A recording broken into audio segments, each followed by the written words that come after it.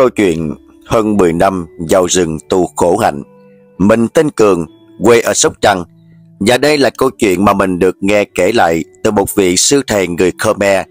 Hiện tại thì thầy đang tu tập tại một ngôi chùa rất nổi tiếng bên Campuchia. Xuyên suốt trong câu chuyện này là những trải nghiệm tâm linh quyền bí mà thầy là người trực tiếp trải qua trong suốt hơn 10 năm khổ hạnh vào tận gần sâu để mà tu hành. Nói đôi chút về sư thầy, vì tên của thầy thì mình không biết dịch từ tiếng Khmer sang tiếng Việt như nào, cho nên mình sẽ gọi là thầy Mâu Ni hoặc là sư Mâu Ni. Thầy bắt đầu xuất gia vào lúc 15 tuổi trong chùa ở bên Cam. Sau một thời gian tu tập trong chùa, thì thầy quyết định một mình đi tận vào rừng sâu để mà tu tập theo kiểu khổ hạnh khoảng hơn 10 năm trời. Và sau khi hết thời gian tu tập khổ luyện, thì thầy sang Thái Lan để tu thêm 6 năm trời nữa. Cuối cùng là thầy quay về bên Campuchia và ở trong chùa cho đến tận bây giờ. Và hữu duyên trong một lần thuyết pháp thì mình được nghe thầy kể lại những chuyện ma quái, thần tiên và cả những sinh vật lạ trong rừng mà chính thầy là người đã trực tiếp trải nghiệm. Thầy kể khi mà thầy vào rừng để tu tập thì thi thoảng thầy cũng gặp những người đi vào rừng để mà tu khổ hạnh giống như thầy. Có cả những người vào đây để tu luyện bùa chú, nhưng chung quy lại thì phải tu tâm từ bi trước. Khi mà thầy vào rừng tu, thì thấy ma, thấy quỷ, thần thánh nhiều lắm, giống như là trong kinh Phật có kể. Thì đối với những vị sư Muni lần đầu vào rừng tu giống như thầy, thì thường sẽ mang một tâm trạng lo sợ. Nhưng mà khi đối diện rồi, thì thầy nói thật sự ma không hề đáng sợ. Chỉ cần cái tâm của mình tốt cầu xin họ đàng hoàng thì họ sẽ không làm gì mình cả. Chỉ sợ gặp những loài ngạ quỷ thôi. Thầy nói quỷ thì nó cũng chia làm hai loại, có hiền có dữ. Đặc biệt là những loài ngạ quỷ hung dữ thì nó rất là ác. Nếu vô tình mà những người tu hành giống như thầy đi vào ngồi trúng cái chỗ mà tụi nó đang ngự, ban ngày thì không biết, chứ ban đêm là tụi nó sẽ xuất hiện đánh đuổi quýnh mình. Và có một câu chuyện cụ thể là như vậy. Đêm đó thầy đang ngồi thiền. Đang ngồi như vậy Thì thầy nghe tiếng chân chạy bịch bịch từ đằng xa. Lúc đó thầy mở mắt ra Thì thầy thấy đằng xa Là một vị sư mâu ni Đang chạy về hướng thầy. Vừa chạy vừa hốt hoảng sợ hãi. Và thầy nhìn kỹ lại Thì thấy phía sau lưng của vị sư này Có một con quỷ cao to dữ lắm. Tay của nó cầm cây gậy dí theo. Khi mà vị sư này chạy vừa tới chỗ sư thầy đang ngồi thì con quỷ này nó đuổi kịp tới. Nó đưa chân đá một cái, là vị sư này lăn cù mèo, lọt luôn xuống ao.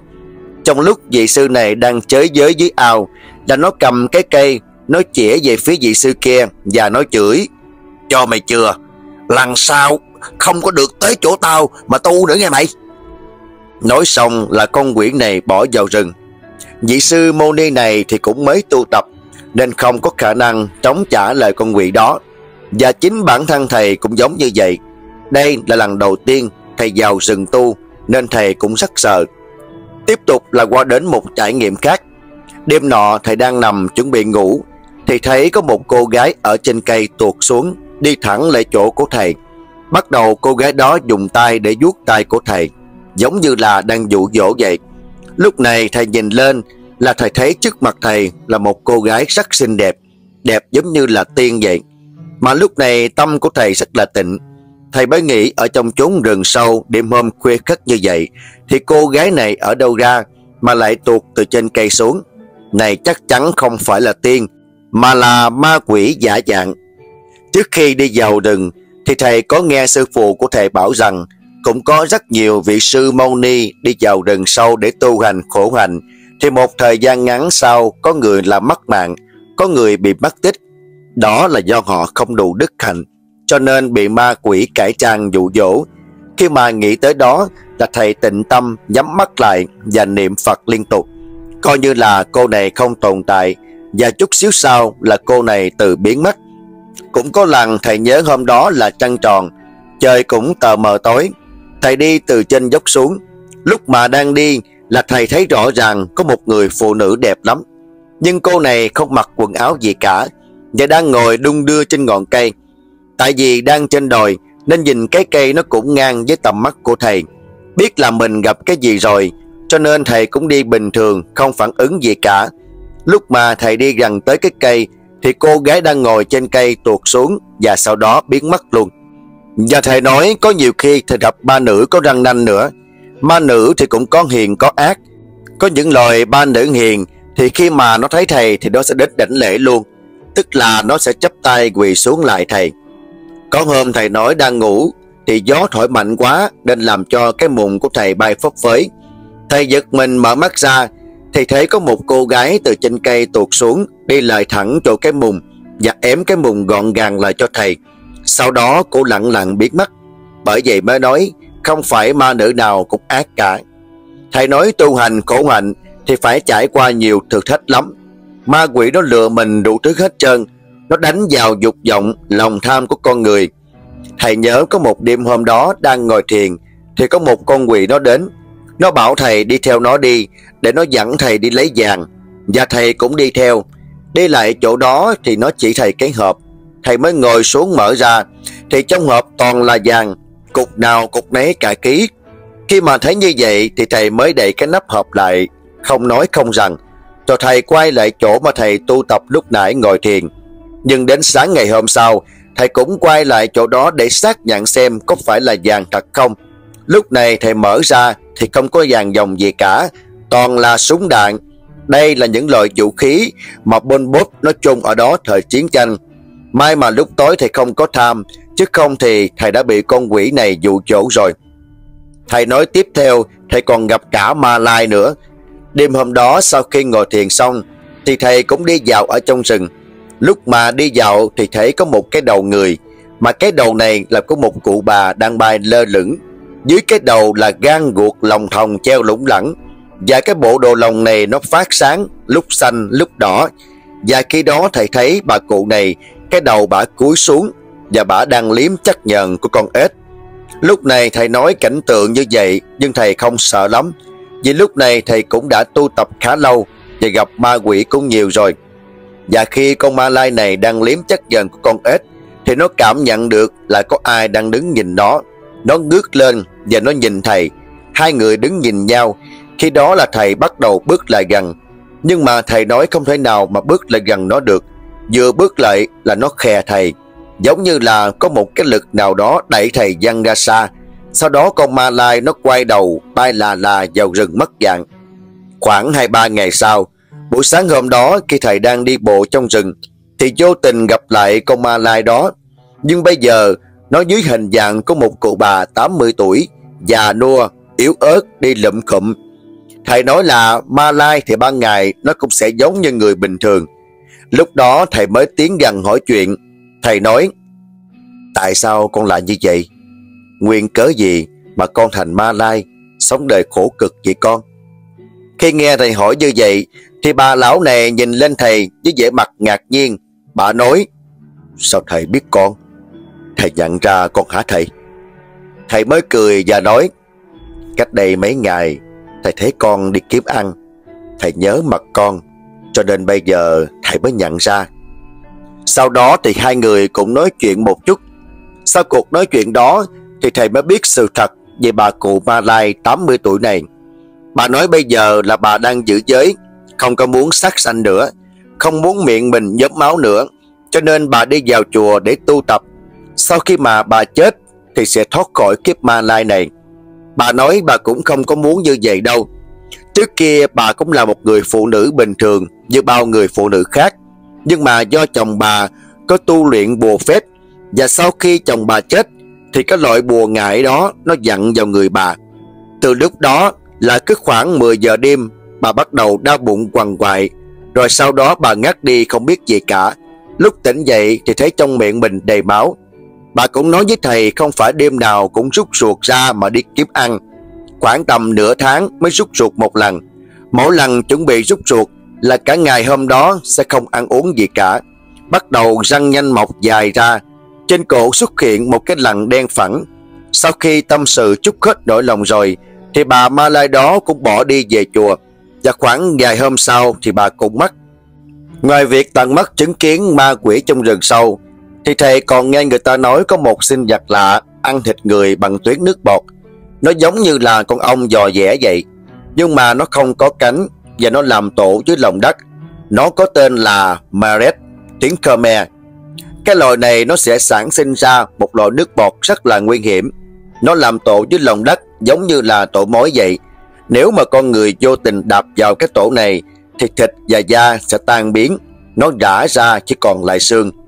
Thầy nói trong quá trình 10 năm tu tập thì thầy sẽ không ở một chỗ để tu tập mà di chuyển từ cánh rừng này sang ngọn núi khác.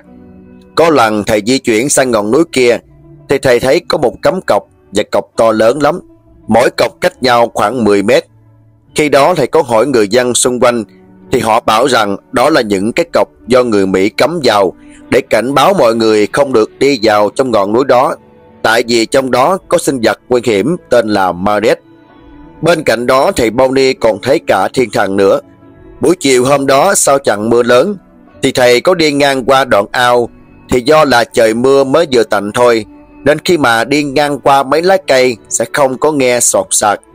Lúc mà thầy đi gần tới chỗ cái ao khoảng trăm mét thì thầy thấy có năm sáu người toàn là phụ nữ đang tắm dưới ao.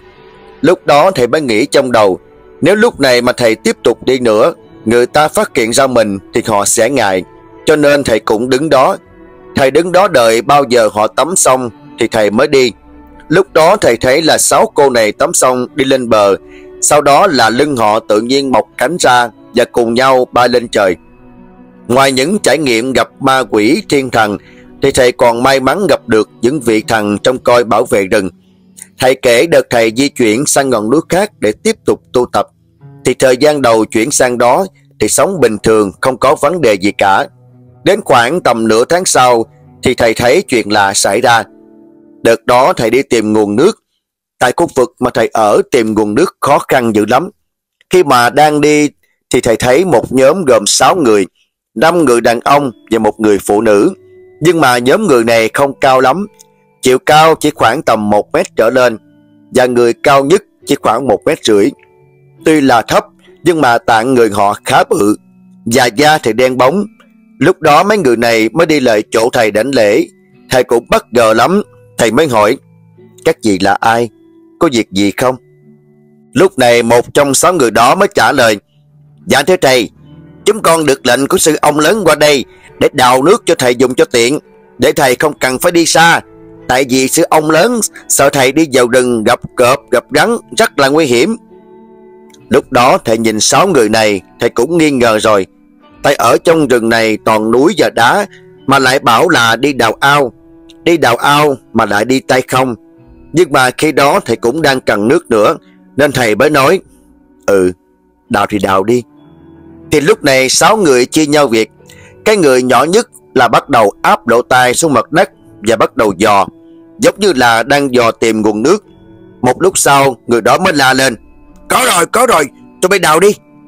Thì lúc này sáu người mới chụm lại chuẩn bị đào. Lúc này thầy mới cản, Thầy nói, Không được không được, Chỗ này á tối nay thầy nhóm lửa. Tại vì thầy quan sát thấy kế bên có một vách đá to lớn lắm. Vách đá này có thể ngăn mưa ngăn nắng được. Tối nay thầy định đốt lửa ngay chỗ này. Lúc mà thầy cản như vậy Thì sáu người này di chuyển đến chỗ khác để tìm nguồn nước. Đi được một đoạn không xa lắm Thì họ phát hiện được cái nguồn nước dưới một gốc cây to. Khi mà phát hiện được nguồn nước rồi, là một trong sáu người đó dùng tay không đẩy một cái, là cái cây cổ thụ to ngã xuống. Và mấy người kia bắt đầu bứng cái gốc lên. Sau đó họ bắt đầu đào hoàn toàn bằng tay không. Cào bốc một chút xíu là thành một cái ao và nước dâng lên. Khi đó thầy ngạc nhiên lắm. Làm sao mà người bình thường có thể làm được cái điều phi thường như vậy? Chắc chắn đây là các vị thần trong coi đất đai rừng núi gì rồi. Sau khi mà làm việc xong Thì họ mới nói Dạ thế thầy, Tụi con xong rồi nếu xong quá trình mà thầy tu tập tại đây, Có vấn đề gì khó khăn, Thì thầy chỉ cần suy nghĩ trong đầu Là tụi con sẽ xuất hiện. Nói xong là sáu người cố đầu chào thầy Và đi mất dạng. Khoảng một tuần sau, Thầy vẫn còn đang tu tập ở đó. Lúc đó thầy mới suy nghĩ trong đầu Là mùa mưa sắp tới rồi, Mà củi không còn nhiều nữa, Làm sao sử dụng đây? Thầy chỉ nghĩ thôi chứ không có nói ra. Nhưng mà tới sáng ngày hôm sau thì thầy thấy các vị thằng đó lại đến. Nhưng mà lần này chỉ có bốn người. Bốn người đó mới nói Dạ thưa thầy Sư ông lớn kêu tụi con tới đây Để đi tìm củi cho thầy dùng. Nói xong bốn người bắt đầu chia nhau ra để lượm củi. Một chút xíu sau là họ ôm củi về. Lớn có, nhỏ có Chia thành hai đống. Hai loại củi này thì một bên sẽ chụm như bình thường Còn một bên là chụm cho mùa mưa. Cái củi mà sử dụng cho mùa mưa khi đốt lên là lửa sẽ có màu xanh Y như là bếp ga vậy Và trong suốt quá trình thầy tu tập tại ngọn núi này, Thì có rất nhiều lần những vị thần này đến Và dâng trái cây cho thầy Mãi cho đến khi nào thầy tu tập xong Và di chuyển sang ngọn núi khác, Thì thầy mới không còn gặp những vị thần đó nữa và đó là toàn bộ những gì mà mình may mắn có cơ hội nghe thầy thuyết pháp về quá trình mà thầy Mâu Ni tu tập khổ hạnh. Hy vọng có thể truyền cảm hứng đến mọi người. Cảm ơn mọi người đã lắng nghe.